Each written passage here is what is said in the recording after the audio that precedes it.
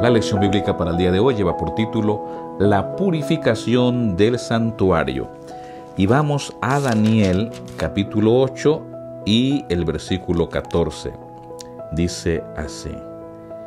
Y él dijo, hasta dos mil trescientas tardes y mañanas, luego el santuario será purificado.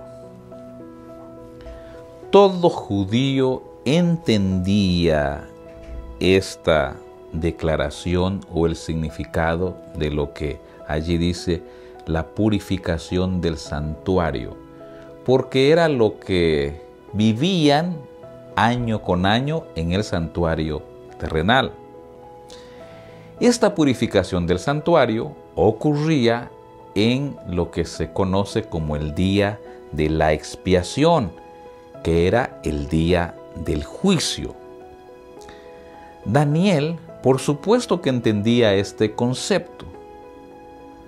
El asunto con Daniel y lo que le afectó a Daniel fue precisamente lo que se menciona allí hasta 2300 tardes y mañanas y el santuario será purificado.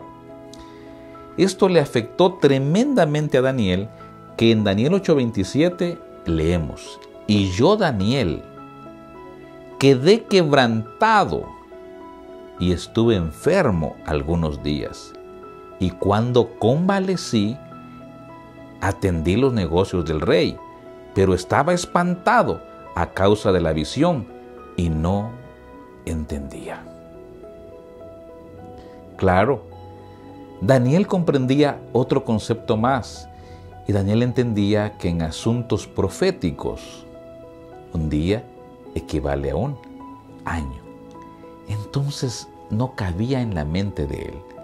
Si el santuario se purifica cada año, ahora hasta 2300 años.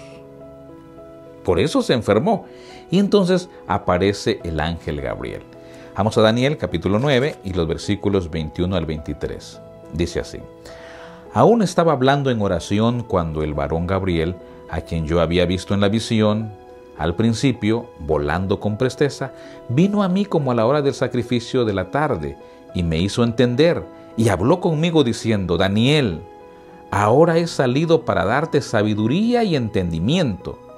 Al principio de tus ruegos fue dada la orden y yo he venido para enseñártela, porque tú eres muy amado. Entiende pues la orden y entiende la visión. El ángel Gabriel llevó a Daniel a recorrer el tiempo y entonces le reveló la verdad acerca del Mesías venidero. Por eso es que a Daniel se le mostró proféticamente fechas exactas del ministerio de Cristo Jesús fecha exacta incluso de la muerte de Cristo Jesús. Usted se preguntará, pero ¿cómo? Bueno, en Daniel 9, 24 al 27 leemos, 70 semanas están determinadas sobre tu pueblo y sobre tu santa ciudad para terminar la prevaricación y poner fin al pecado y expiar la iniquidad para traer la justicia perdurable y sellar la visión y la profecía y ungir al santo de los santos.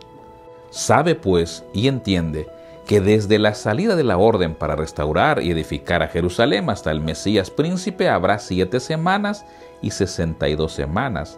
Se volverá a edificar la plaza y el muro en tiempo angustioso y después de las sesenta y dos semanas se quitará la vida del Mesías, mas no por sí, y el pueblo de un príncipe que ha de venir destruirá la ciudad y el santuario, y su fin será con inundación, y hasta el fin de la guerra durarán las devastaciones.